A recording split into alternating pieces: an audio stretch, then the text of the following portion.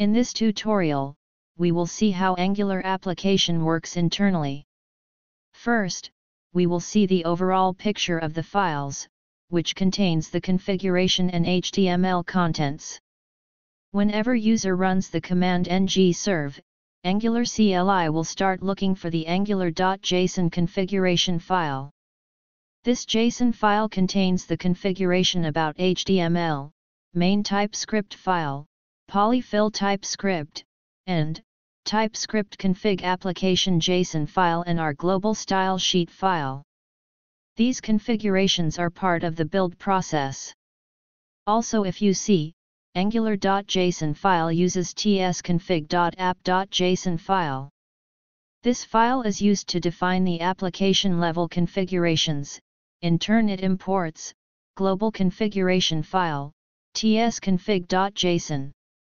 We may have doubt, why do we need a global configuration, and application level configuration files? Angular allows you to create multiple applications within the same workspace or project, so each application can have its own configuration, and can import a global configuration. Now we will move back to Angular CLI. Angular got the details such as main TypeScript file, index HTML file and CSS informations. Main TypeScript is the entry point to the application main module which needs to be initiated to start the application.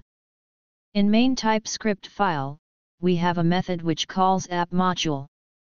We will move to app module or application module now, it is the base module TypeScript file which contains the component details which needs to be rendered. In Bootstrap property, we have defined app component or application component. As we have seen in our last video, appcomponent.ts file has component annotation, which has few properties like selector, template URLs, and style URLs. These TypeScripts are compiled or transpiled into the browser. Now we will come back to the index.html file as mentioned in our angular.json file. This HTML file contains app_root tag, as per our component configuration property, selector, this particular app_root tag will be rendered with the HTML content, that is part of the app component HTML. We will make some changes in our code and will try to understand more on how these components are rendered in the browser. First we will start with main.typescript file. This is the entry point of the Angular as per our configuration JSON files. If you look at the line number 18, main.ts file is mentioned. Now we will change the main.ts file name, just to check how it is going to work. I will rename main.ts, to, launcher.ts. We renamed the file, so we have to make changes in our JSON configuration files also. In angular.json file, we will make it as launcher.ts, and save the file.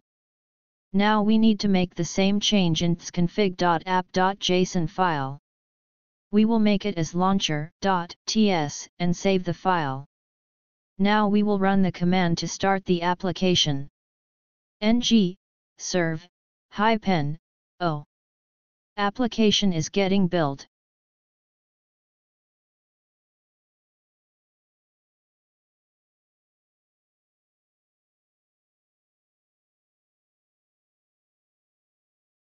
Now you can see, the application is getting loaded into the browser successfully. We will come back to Visual Studio and will make few other changes. Let's go to launcher.ts file, if you see in line number 12, it is mentioned as app module. So this is the base application module, which in turn calls the base component. Now we will rename this app module to base module.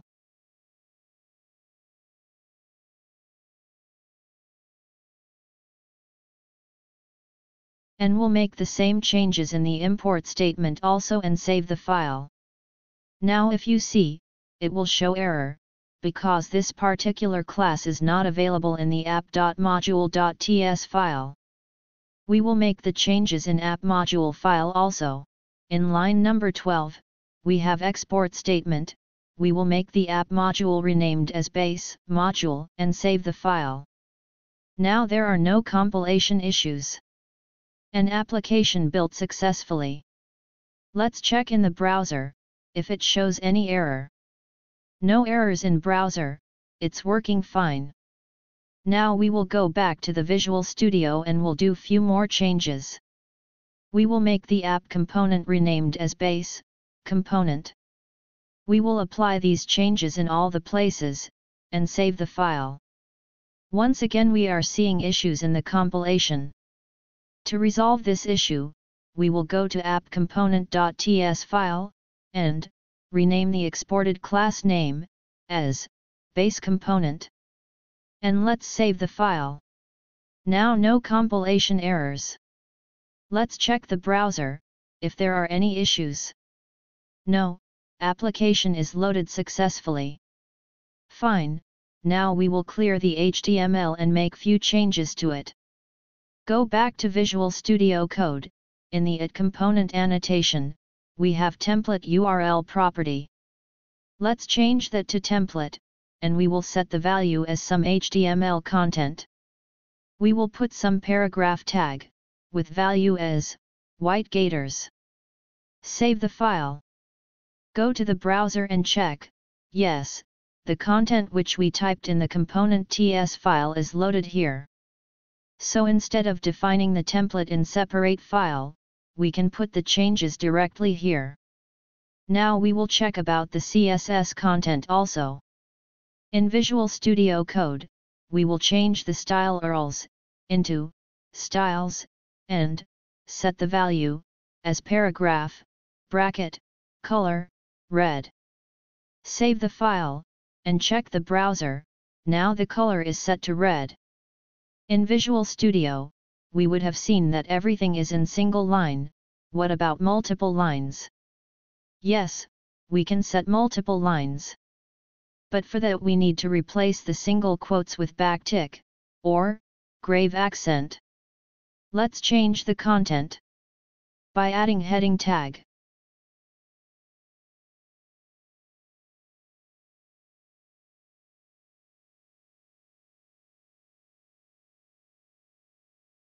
Now if you see the browser, contents are loaded correctly, similarly we can change the CSS also into multi-line. In our upcoming sections, mostly we will use this type of templates and styles, so that we can understand the changes easily. We will see more basic concepts in our next section.